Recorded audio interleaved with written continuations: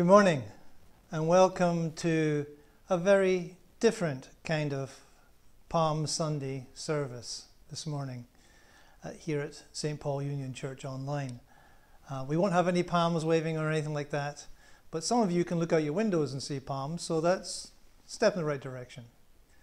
Um, also, if people are visiting, I know I've uh, put information about this up on Facebook. If people are visiting because it's um, Palm Sunday and Holy Week, then welcome. It's good to have you with us. And just to be totally normal, uh, I'm going to start off with some announcements. Um, so this is Holy Week, beginning this week, and it's also the first day, first Sunday of the month. And normally we would have communion today, but we're going to postpone that till Thursday because Thursday evening at 7 p.m. we will be having a Maundy Thursday service on Zoom and we'll be having communion at that time together.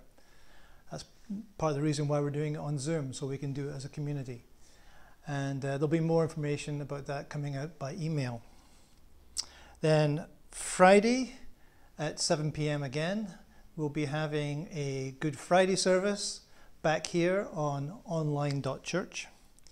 And because it's such a busy week this week, there will be no Wednesday Bible study this week on Wednesday evening. We'll start that up again after Easter.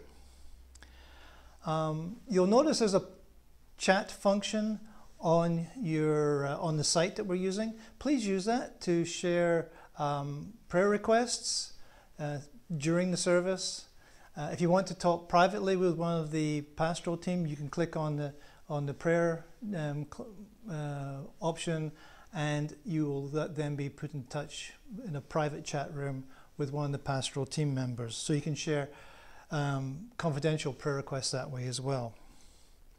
And finally, even though we're not meeting at the cultural centre, we still have a rental contract that we need to honour. And um, so if you could continue to give your regular offerings only by doing, doing it by um, direct transfer from your bank to the church's bank account, the information for that is at the bottom of any email you get from me. And um, in the meantime, we'll try and make it easier. But right now, that's the only option we have is being able to transfer it from your bank to our bank. Those are the announcements. Let's um, open our hearts to the Lord now as we enter into worship. Let's pray. Lord Jesus, we thank you for your coming. We thank you for your coming to this world to redeem us. And Lord, as we reflect upon the joyous arrival, your joyous coming into the city of Jerusalem, Lord, we pray that this morning, once again, we would joyfully receive you into our hearts. One more time, Lord, that you might change us to be more like you. This is our prayer this morning, Lord, as we enter into worship. In your name we pray. Amen.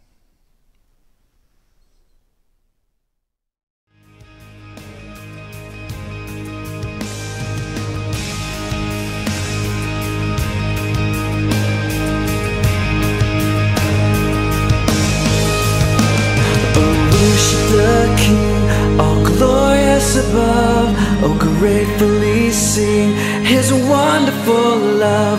I should defender the ancient of days, pavilioned in splendor and girded with praise.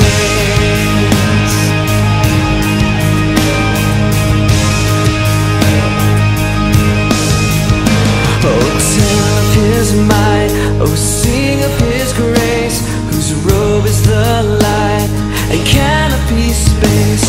His chariots of wrath, the deep thunder clouds form, and dark is his path on the wings of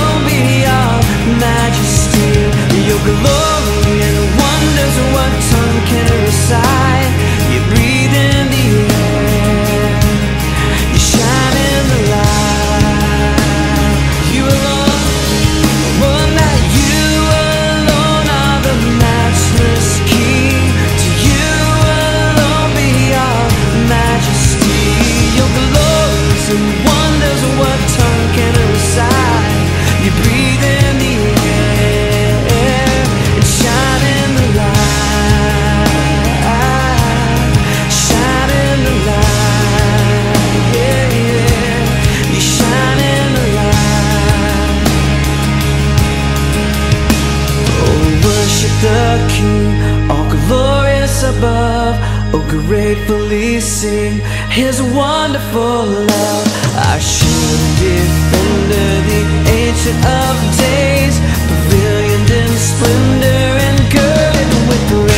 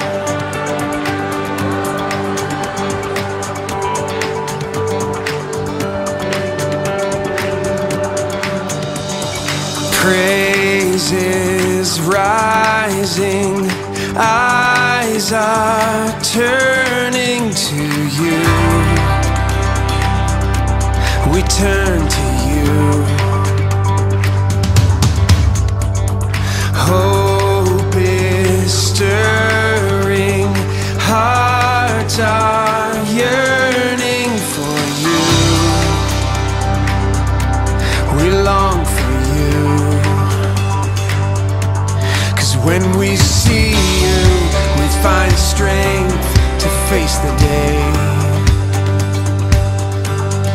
In your presence, all our fears are washed away, washed away.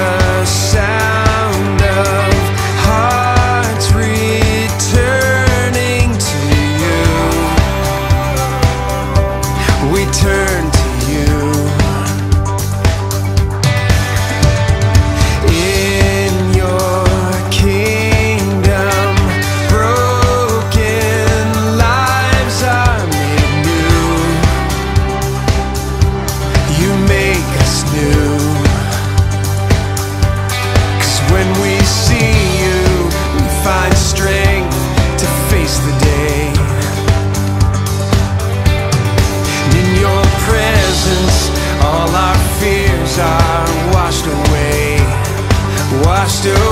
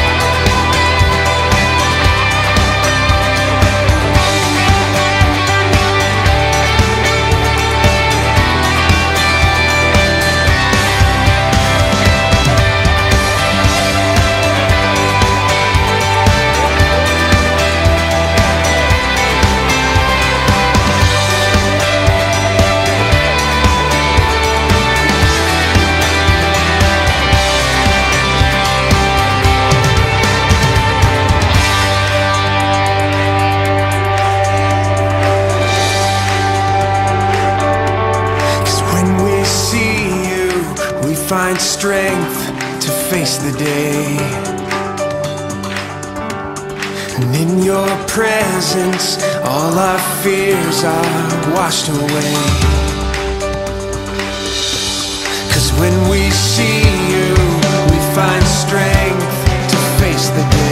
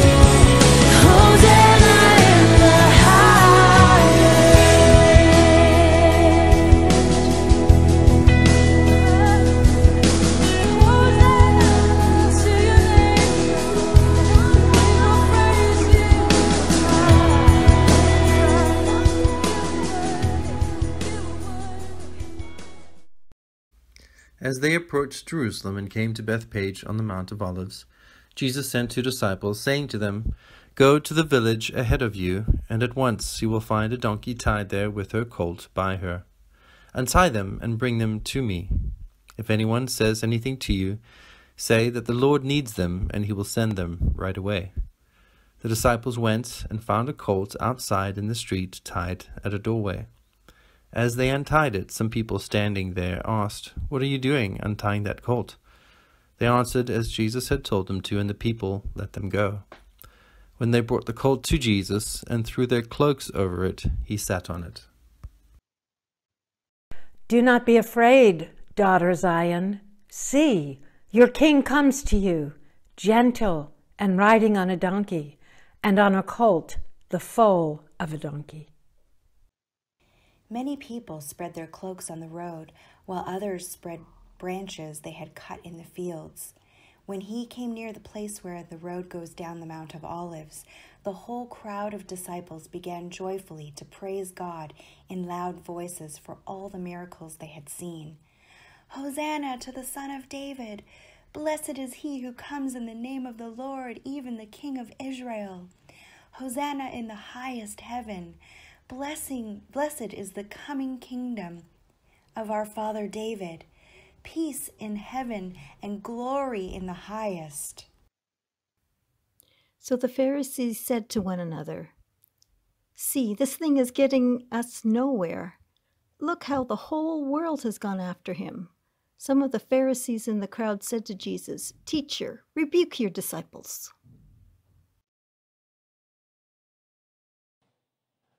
I tell you, he replied, if they keep quiet, the stones will cry out.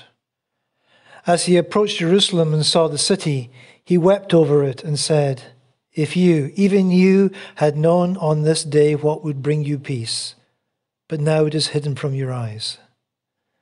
The days will come upon you when your enemies will build an embankment against you and encircle you and hem you in on every side. They will dash you to the ground you and the children within your walls. They will not leave one stone on another, because you did not recognize the time of God's coming to you.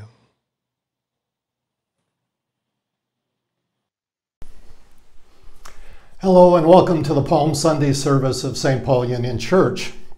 Some of you have worshiped with us online over the past two Sundays. For some of you, this will be your first opportunity to do church together using this online platform. For those of you who don't know me, my name is Mark Wilson, and I'm a member of the leadership team here at SPUC. Several weeks ago, we heard a buzzing of noise on our street outside. It was chainsaws and bucket trucks, and the city crew was moving down the street trimming the palm trees. Here in Ontario, this is an annual ritual. Maybe this has happened in your own neighborhood as well. All year they sprout upward, provide some foliage here, a bit of shade in front of our apartment, and then in the springtime, the city crews come in and trim them back. I was thinking, whoa, how wonderful it would be to gather these palm branches and use them for a Palm Sunday service. But alas, uh, they would have withered, and of course, uh, we cannot gather in person at the St. Paul Cultural Center anyway to use those palms. But if you remember last year, our sister Simbal uh, made these uh, palm crosses and handed them out at our service. So we still have these around, and so if you've got one of these crosses, uh, you might want to bring it out so we can wave it at the appropriate time. Over the past six weeks, Pastor Robin has taken us through six of the seven last words of Jesus. And last Sunday brought us to Jesus' death on the cross. However, today we're going to rewind uh, these events of Holy Week and start at the beginning, five days earlier. We all know what happens in the days ahead, but for the crowds and the disciples who are in Jerusalem for Palm Sunday, these events were unknown to them. So we need to keep that in mind. Palm Sunday is a day of joy and celebration in which Jesus' messianic nature is fully revealed. He's fully recognized as the King of Israel. Now, each gospel records Jesus' triumphal entry, so obviously this is an important event. The text that was read earlier was really a harmony or compilation of the accounts in the four gospels, since we have overlap between them. And as the readings have shown, we have four, five voices emerging in the story of Palm Sunday. First, the disciples, the prophets, the crowd, the Pharisees, and finally, that of Jesus. So today we want to look at the triumphal entry of Jesus through the lens of each group. First, the disciples. For them, this is a period of great anxiety and distress. For when Jesus had announced his return to Jerusalem, Thomas said to the rest of the disciples, Let us also go, that we may die with him. So their expectation that the return to Jerusalem was had the possibility of bringing their deaths as well. And after Jesus had brought Lazarus back to life, the Jewish authorities had issued a warrant for his arrest. And when the disciples returned to Bethany with Jesus, they knew that the Pharisees were trying to kill both Jesus and Lazarus. Because the miracle of the raising of Lazarus was causing many people to turn to Jesus. So, as they prepare to leave the home of Lazarus, two disciples are asked to perform a seemingly silly task. They're told to procure a donkey from somebody's stable. Now, you can imagine them rolling their eyes and thinking to themselves, Really, Jesus, haven't we got better things to be doing? You're about to make a grand appearance in Jerusalem, and we're being sent to steal a colt from some poor villager. Reluctantly, they went ahead, and lo and behold, a colt was standing, just as Jesus had predicted. And when they said what Jesus had directed them to say, the Lord has need of it, the owner raised no objections. So, stage one of the day's drama was set. A donkey was in hand. The prophets Isaiah and Zechariah. In his series on the seven last words of Jesus, Robin has been noting the various prophecies from the Old Testament that were being fulfilled in Jesus' words and actions. In our Bible study this past Wednesday, we continued to discuss this quite interesting point.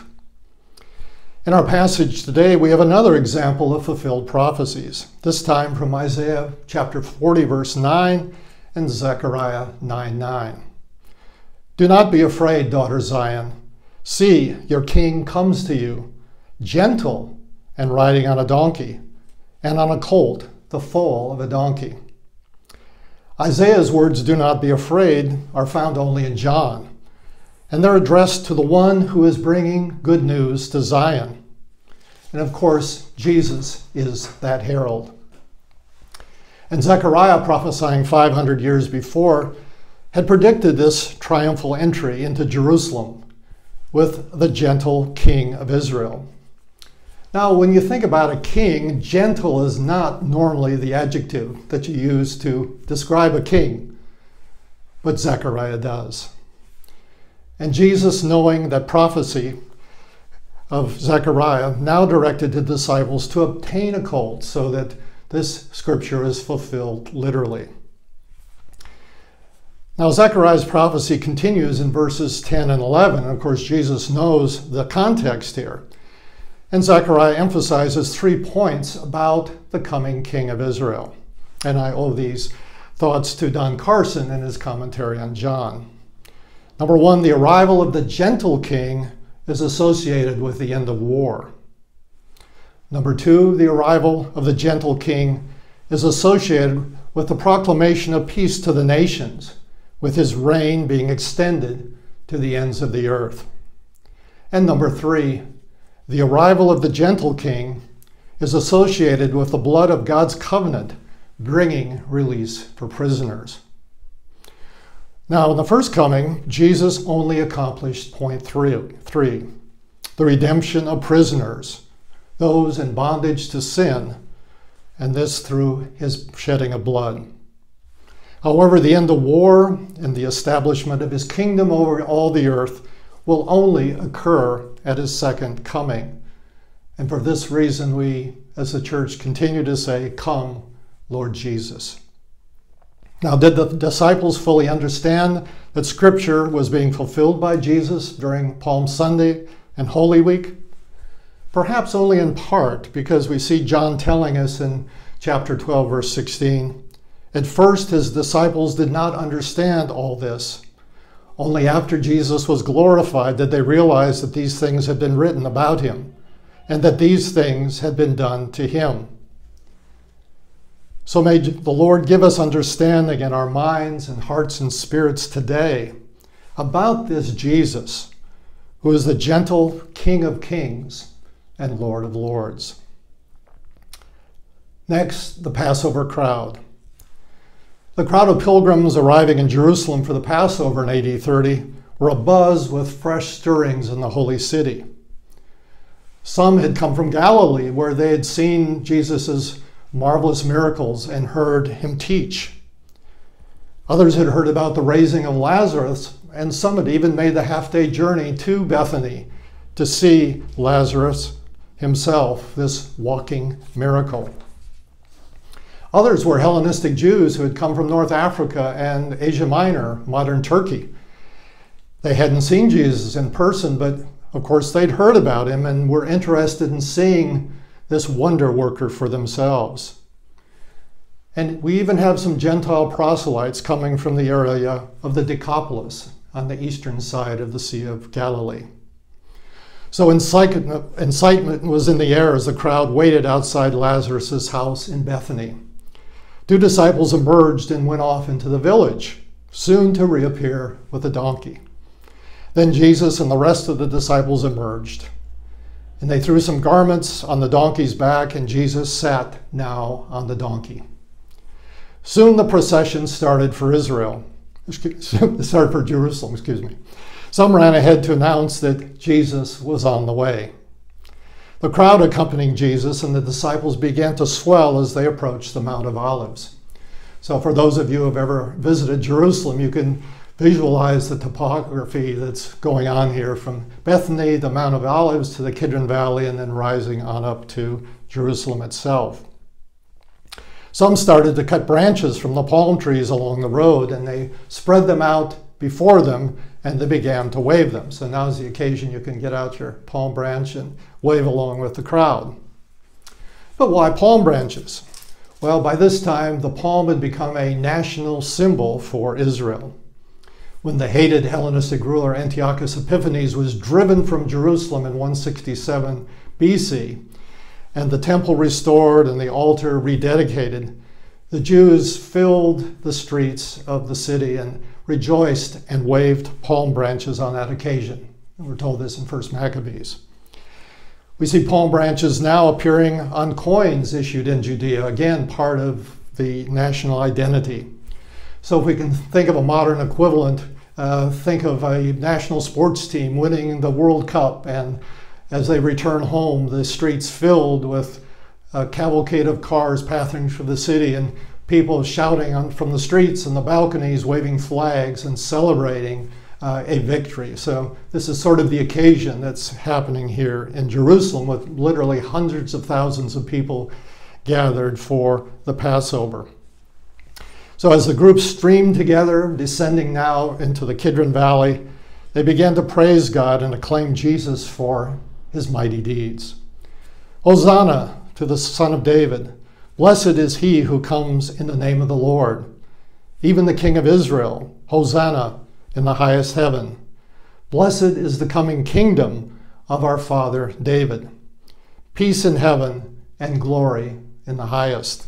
Some of the words we sang in our worship choruses this morning. Maybe in your Bible there's a footnote that says Hosanna in Hebrew means God save us. And the crowd here is echoing the language of Psalm 118, verses 25 and 26. Again, the context with two verses earlier, the psalmist had prophesied. The stone the builders rejected has become the cornerstone. The Lord has done this, and it is marvelous in our eyes. However, on this day, the Messiah who would be rejected is recognized for who he is the Son of David, the gentle King of Israel. The events of this day recall the coronation of Solomon. It's recorded in 1 Kings chapter 1 verses 32 through 40. And there we see King David saying, Take the Lord's servants with you, and have Solomon my son mount my own mule, and take him down to Gihon spring. We see Jesus here similarly mounted on a donkey. There have Zadok the priest and Nathan the prophet anoint him king over Israel. The day before, Mary had anointed him with perfume in Bethany. For Solomon now, then you are to go up with him, and he is to come and sit on my throne and reign in my place. I have appointed him ruler over Israel and Judah. For Jesus now, as the physical and spiritual of his father David, the, the heir uh, of his father David, Jesus and his coming kingdom is announced. And finally, as part of Solomon's coronation, the culminated, the people sounded the trumpet. Uh, excuse me, the priest sounded the trumpet, and all the people shouted, Long live King Solomon! And all the people went up after him, playing pipes and rejoicing greatly, so that the ground shook with the sound. Here on Palm Sunday in Jerusalem, Jesus is similarly proclaimed King of Israel with shouts of acclamation. Our next voice is that of the Pharisees. Standing on the fringes of this procession were the Jewish authorities.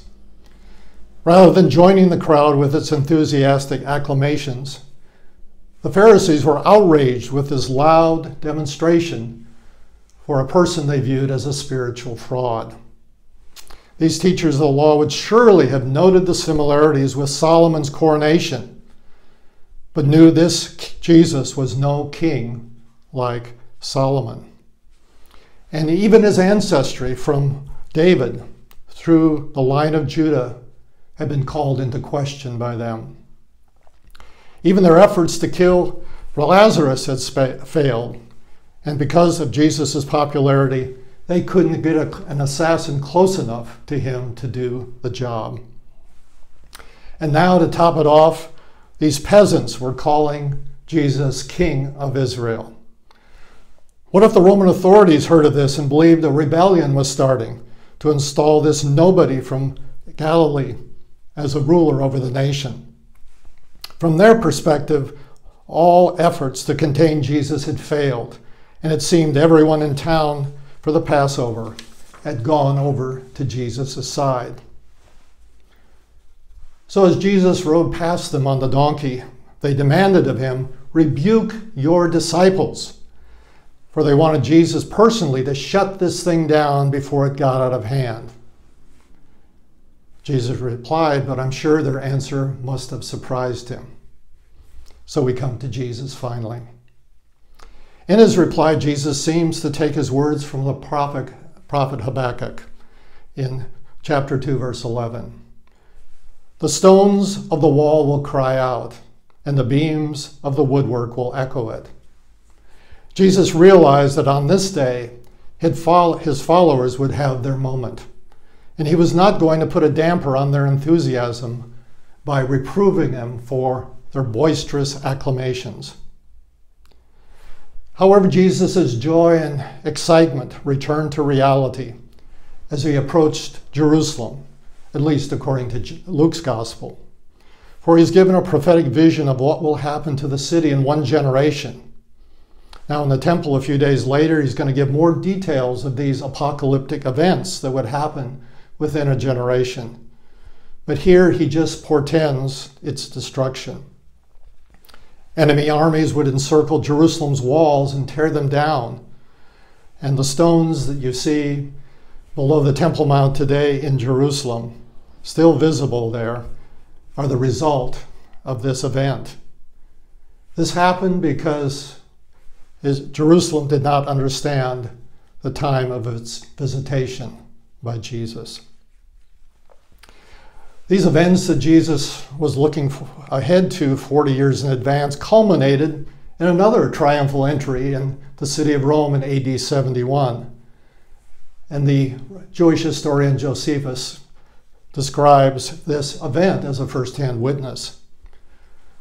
From the temple, the Romans had taken spoils and they carried these through the city of Rome. You can see these on the Arch of Titus today when you visit the Roman Forum. Shown there is the golden table, the golden menorah, the law of the Jews, the law of Moses. As part of this triumphal entry, the Jewish captives were paraded with their general in chains, taken captivity into captive there. And at the end of this long procession that was winding its way through the imperial city, we see Vespasian, general first, now emperor, his son Titus, who is responsible for sacking Jerusalem and destroying the temple, and Domitian following. They're not riding donkeys, but white horses as they go into the city before a populace wearing white robes. So, what a stark contrast for an entry into the city between that of Jesus and the emperor and his family a generation later. The humility of Jesus riding on a donkey here on Palm Sunday. Of course, we know that this day of celebration and acclamation would soon devolve into the tragic events of Holy Week. Tragic, of course, for Jesus, but salvation for the world. But that's the rest of the story that will unfold during Holy Week and culminate next Sunday on Easter. So, what are some takeaways from this account of Palm Sunday that we've been looking at today? First of all, I think obedience is uh, something important here. Jesus asked his two disciples to do something that seemed quite silly retrieve a colt for him to ride on. But they obeyed, and Jesus was able to fulfill prophecy by riding into Jerusalem. I ask you, has the Lord been requesting you to do something recently? Perhaps it seemed unimportant, or you've been delaying enacting uh, God's word to you. But obedience is critical for all of Jesus' disciples. We all have a season of enforced quietude uh, now, and it's a God given time for us to reassess priorities in our lives. So I encourage you to use this gift of time wisely and to seek the Lord how you might be more obedient as one of his disciples. A second emphasis here, I think, is kingship.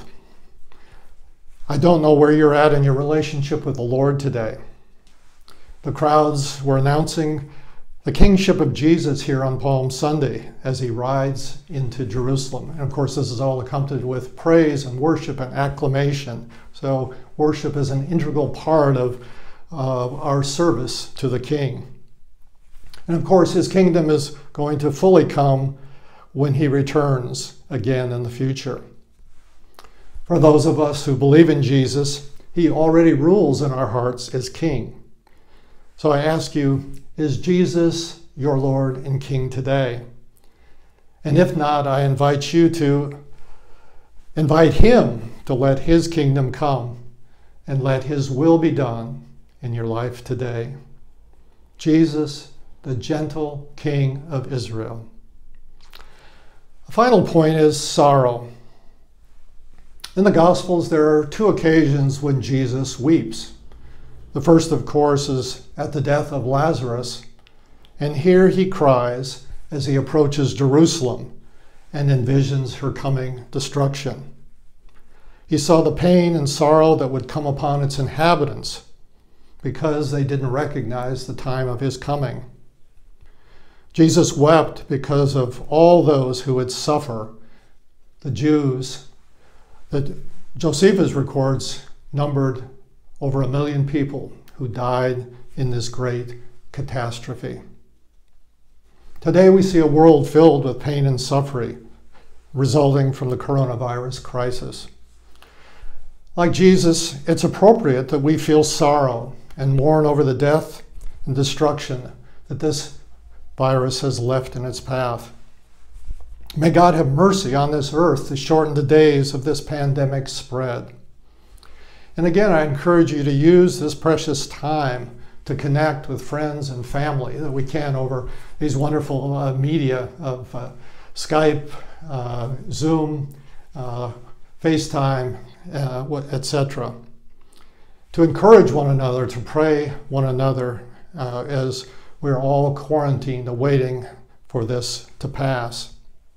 Strengthen one another and draw one closer to one another through prayer and Bible study and fellowship through such a wonderful online platform that we have today. As we listen to the testimonies of doctors and nurses and first responders, the trials uh, that they're going through, it, it breaks our heart and we weep Lord, as we see also the testimonies of those who have been afflicted by this virus and the families that have been affected as well. And so let us continue to cry out to the Lord that this will pass over uh, our homes and our families and be eliminated from the earth. And those who are working diligently to find vac- vaccines to stop this pandemic will be successful. Thank you for being a part of our Palm Sunday service, and I'd like to close with a word of prayer. Lord, we thank you for the opportunity, a part of this celebration in Jerusalem 2,000 years ago, to acclaim Jesus as that gentle King. We thank you that He is now the King in our lives, and we continue to praise and acclaim Him for who He is. And Lord, we do pray for our earth at this time. Lord, have mercy. Lift this pandemic from our midst.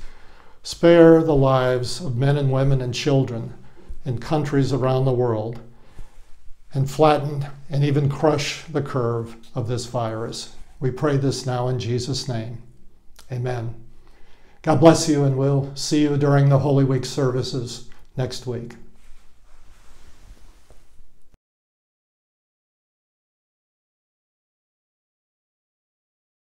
Where you go, I'll go. Where you stay, I'll stay. When you move, I'll move.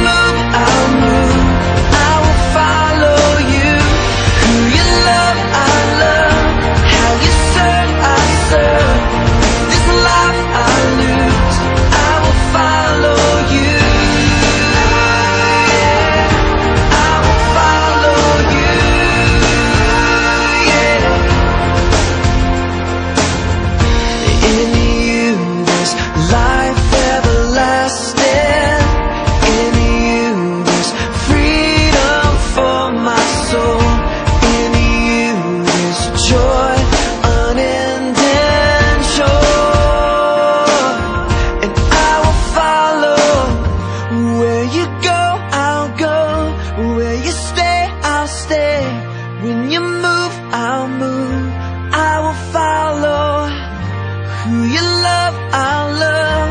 How you serve, I'll serve. If this life I lose, I will follow.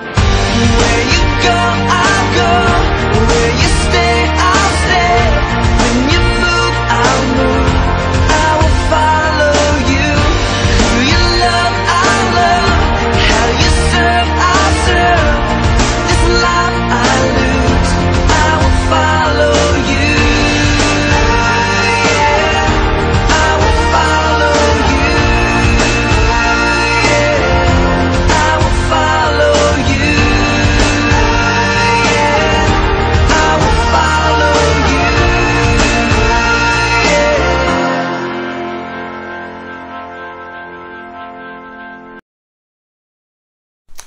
Thank you for joining us today for this Palm Sunday service and being a part of SPUC Online Church. Now, would you receive the benediction? Now, may our God and Father Himself and our Lord Jesus Christ guide your path. May the Lord make your love increase and overflow for each other and for everyone else. May He strengthen your hearts so that you will be blameless and holy in the presence of our God and Father when our Lord Jesus comes with all His saints. God bless you and have a good week.